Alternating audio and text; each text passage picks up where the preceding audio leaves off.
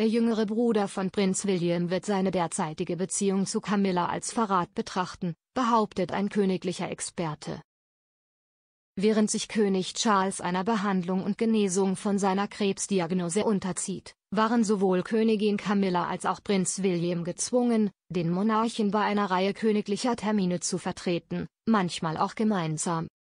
Ein königlicher Experte glaubt jedoch, dass diese aufkeimende Beziehung mit dem in Kalifornien lebenden Prinz Harry nicht gut ankommen wird. Im Gespräch mit dem Mira sagte der königliche Experte und Autor Tom Quinn, er misstraut wirklich, dass William sich mittlerweile tatsächlich recht gut mit Camilla versteht, Harry wird das als Verrat ansehen. Er war schockiert, als William erkannte, dass Camilla weit davon entfernt war, das Monster zu sein, für das sie als Kinder gehalten wurden, sondern in Wirklichkeit eine ziemlich nette Frau ist. In seinen bombastischen Memoiren Spare, die im Januar 2023 veröffentlicht wurden, geht Prinz Harry hart gegen seine Stiefmutter Camilla vor.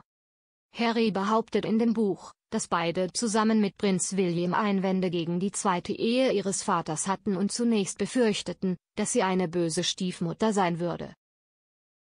In Bezug auf die Beziehungen zwischen Mitgliedern der königlichen Familie in der heutigen Zeit fügte der königliche Experte Quinn hinzu, für Harry war Camilla damals die böse Stiefmutter, und sie ist es immer noch.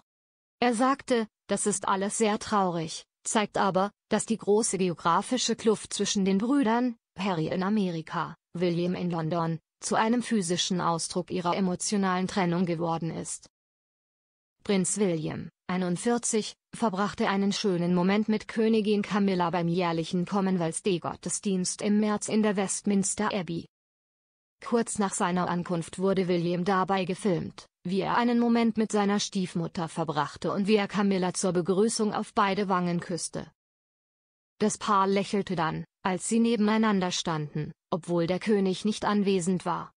Anlässlich der Feierlichkeiten der Commonwealth-Staaten auf der ganzen Welt sandte König Charles eine Videobotschaft, in der er sich an das Publikum wandte und versprach, dem Commonwealth weiterhin nach besten Kräften zu dienen.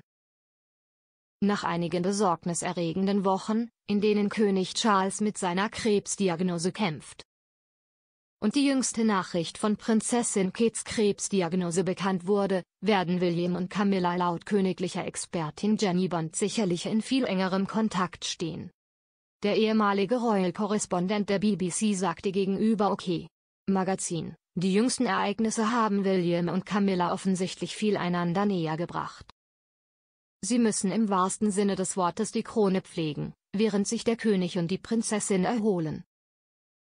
Sie fügte hinzu, abgesehen von der geschäftlichen Seite bin ich mir sicher, dass sie sich auch gegenseitig emotional geholfen haben. Prinz William war beim Gottesdienst am Ostersonntag nicht in der St. Georgskapelle anwesend, da er mit seiner Frau, Prinzessin Kate, und ihren drei Kindern zusammen war, die derzeit in den Osterferien sind. Königin Camilla stand fest an der Seite des Königs, als er dem Gottesdienst beiwohnte, und begleitete Charles bei einem Rundgang durch Windsor, während er von Gratulanten begrüßt wurde und der Menge die Hand schüttelte.